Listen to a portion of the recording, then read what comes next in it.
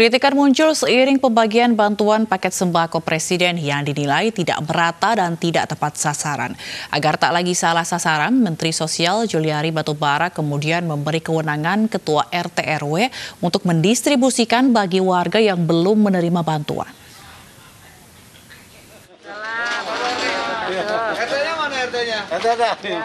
Sudah sejak awal April, bantuan paket sembako Presiden senilai Rp600.000 dibagikan untuk warga yang terdampak virus corona.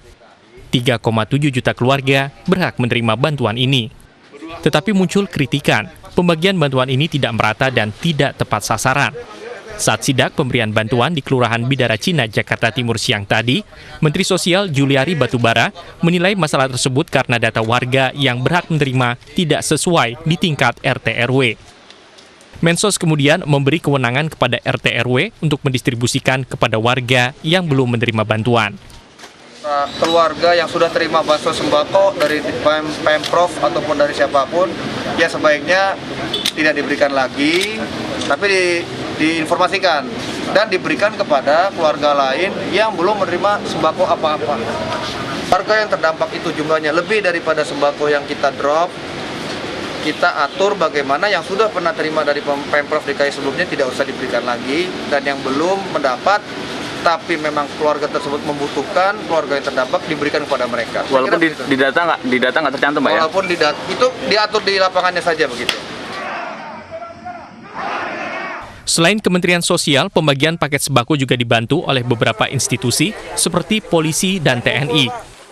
Hari ini 300 paket sembako dibagikan ke permukiman warga di wilayah Pesanggerahan Jakarta Selatan oleh Kementerian Pertahanan. Warga di 5 RT mendapat bantuan yang diberikan oleh Direktur Bela Negara, Brigjen TNI Jubei Levianto. Selain bantuan sembako, akan dibangun dapur umum untuk menyediakan makanan siap saji bagi masyarakat terdampak virus corona. Dari Jakarta, Dan Helmi Sajangbati dan Teddy Suteja, iNews melaporkan. Pemerintah Kota Kediri, Jawa Timur menyiapkan puluhan ribu lembar kartu sahabat dan beras untuk warga terdampak pandemi corona. Menariknya, dalam penyaluran bantuan tersebut, Pemkot Kediri memberdayakan para tukang becak.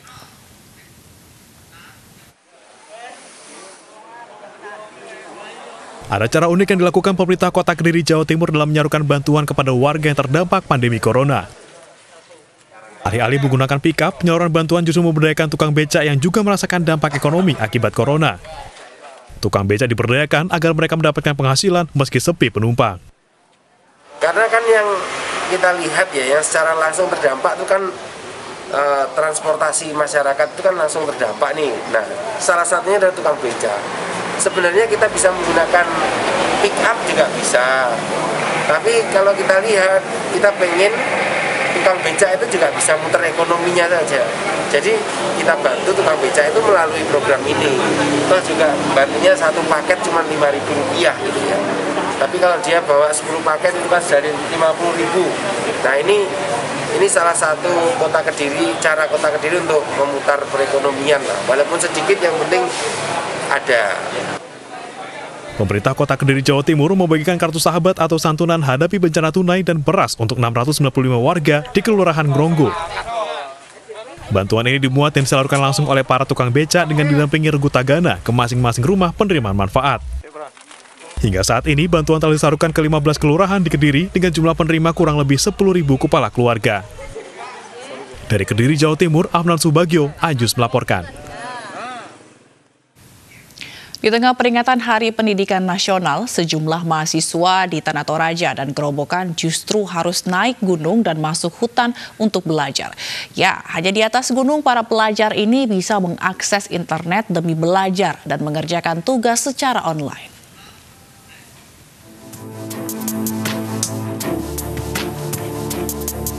Sambil mengangkat handphone mereka tinggi-tinggi, bocah-bocah ini berjalan kaki menyusuri jalan setapak dan terjal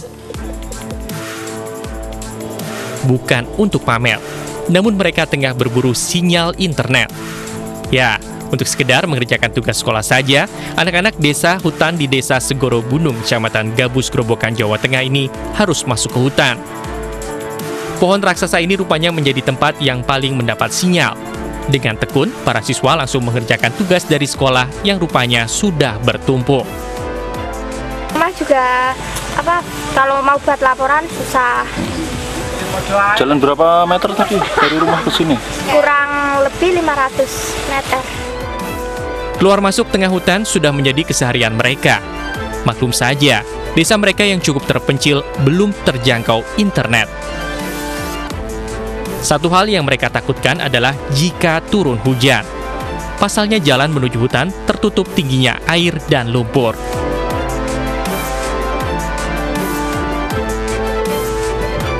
Kondisi serupa juga dialami puluhan mahasiswa dan pelajar di Kecamatan Masanda, Kabupaten Tanah Toraja, Sulawesi Selatan. Mereka terpaksa naik turun gunung hanya untuk mencari jaringan internet. Demi mengejar cita-cita, rasa lelah saat mendaki gunung tidak mereka hiraukan. Hanya di Gunung Tado Puang Bayo inilah mereka bisa mengakses jaringan internet. Dalam sekejap, mereka sudah berjibaku mengerjakan tugas yang diberikan dosen serta guru mereka. Sungguh ironis, di tengah kemajuan teknologi di Indonesia, sejumlah desa di Kecamatan Masanda, Kabupaten Tanah Toraja masih belum bisa mengakses internet. Kalau eh, jaringan kami tidak ada, khususnya di Kecamatan Masanda ini, karena kami sangat eh, memerlukan itu. Makanya kami ke gunung untuk eh, mencari jaringan agar bisa kuliah online seperti eh, mahasiswa-mahasiswa yang ada di kota. besar harapan kami kepada pemerintah agar bisa memfasilitasi kami supaya kami tidak lagi naik turun gunung untuk mencari jaringan melakukan kewajiban kami sebagai eh, mahasiswa atau pelajar. Semangat mereka bisa menjadi lecutan bagi kita semua. Pemerataan pendidikan dan fasilitasnya menjadi mutlak bagi seluruh anak Indonesia di mana pun berada. Tapi paling tidak, di tengah ketidakpastian pandemi corona, kita masih bisa tersenyum melihat anak-anak masa depan bangsa begitu semangat mengejar cita. Tim Liputan iNews melaporkan. Perjuangan para pendidik di tengah pandemi COVID-19 semakin diuji. Beragam cara dilakukan agar murid-muridnya bisa terus mendapatkan ilmu yang berguna. Seperti yang dilakukan para guru di Sumeneb, Jawa Timur dan Gerobogan, Jawa Tengah berikut ini. Wah, Saking kangennya kangen, saking kangennya nangis.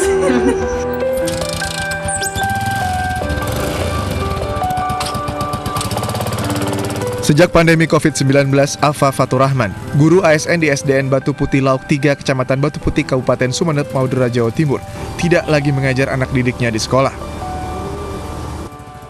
Dengan sabar setiap hari, Pak Afan melewati jalan rusak dan berlumpur untuk bisa sampai ke rumah anak didiknya. Secara bergiliran, guru yang akrab disebut Pak Afan ini memilih mendatangi rumah anak didiknya satu persatu agar mereka tetap bisa belajar.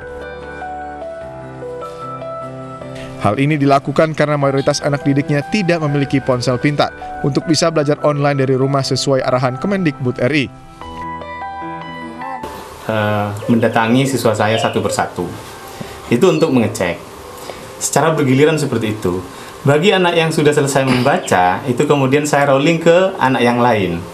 Jadi seperti itu. Mereka rata-rata senang. Saya belajar di rumah sama Pak Afan. Pak Afan baik Terus? dan guru teladan saya.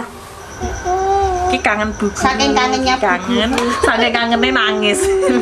Ketemu buku Cup cup cup cup cup. Ayuma, siswi kelas Taman Kanak-Anak Togo Tirto 1 di Grobogan, Jawa Tengah, menangis sedih memeluk guru yang datang ke rumahnya.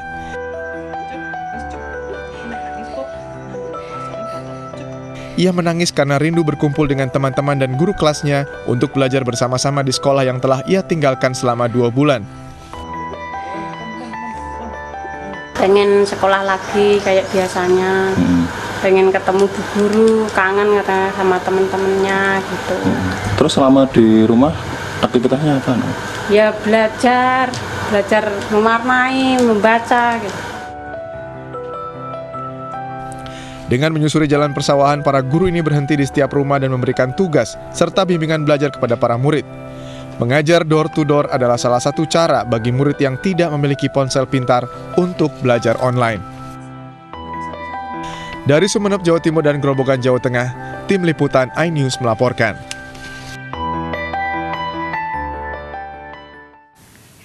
Sementara itu sebanyak 259 wisudawan dari Universitas 11 Maret Surakarta mengikuti wisuda secara online di tengah pandemi COVID-19. Pemindahan kucir yang biasanya dilakukan oleh rektor kini diwakilkan oleh orang tua di rumah masing-masing.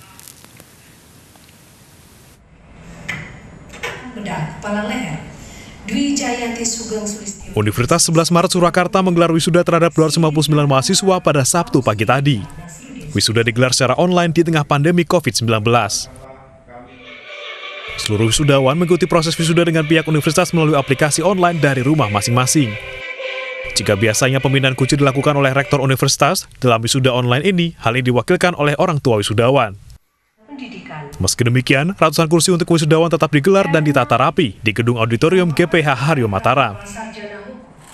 Salah seorang wisudawan mengaku cukup sedih dengan kondisi wisuda online seperti ini karena tidak bisa dirayakan bersama dengan wisudawan lainnya. Namun ia bersyukur pihak kampus memudahkan proses wisuda secara online ini. Kita nggak bisa selebrasi sama teman-teman ataupun keluarga, tapi dipermudahnya itu untuk administrasi ngurus wisudanya di kampus itu dipermudah dengan lewat bisa di gosen atau apa lebih dimudahkan dari kampus itu. Uh, uh, kalau bisa sih ya untuk saat ini sementara masih keadaan corona seperti ini mending wisudanya seperti ini aja karena kita kan tidak tahu kalau kita berkumpul kan nanti tertular jadi lebih baik ini lebih baik daripada wisuda langsung ketika di kondisi seperti ini. Lulusan program sarjana berhak menggunakan gelar sarjana. Pihak kampus menyatakan wisuda secara online ini mempunyai kedudukan yang sama dengan wisuda secara langsung. Wisudawan diharapkan dapat menggunakan gelar yang baru ini dengan baik dan sebagaimana mestinya. Dari Surakarta, Jawa Tengah, Septiantoro, iNews melaporkan. Pemirsa, mari kita dukung para pejuang kemanusiaan dengan peduli melawan penyebaran virus corona. Bantuan bisa disalurkan melalui rekening yang tertera di layar televisi Anda.